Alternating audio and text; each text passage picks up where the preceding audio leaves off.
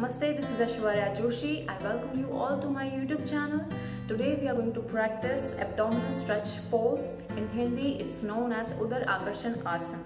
It's a very good posture for all the stomach problems and gastric issues. It also cure the constipation if you practice regularly. And if you have any serious knee problem, please don't attempt this posture. And same goes for the sciatica issue too. So let's practice it together. Now I'm going to tell you the right way of practicing it. Let's start. To practice abdominal stretch pose, we have to sit in squatting posture first.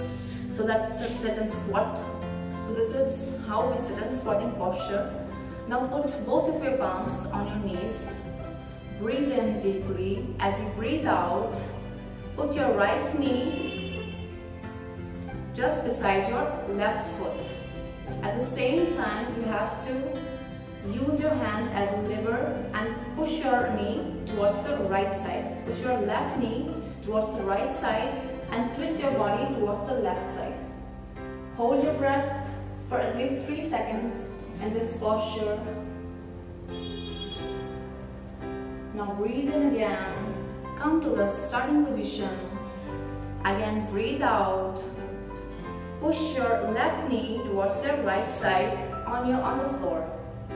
And push your right knee towards the left side and your body will go to the back. Hold your breath for at least 3 seconds. Now breathe in, come to the starting position. So this is one round of abdominal stretch posture. You can practice up to 10 rounds at once. So I hope you have enjoyed the video. Please like and share my video and to watch more videos like this, subscribe to my YouTube channel and to get latest video updates hit on the bell icon. You can also share your experience by commenting below. See you next time with a new video. Thank you.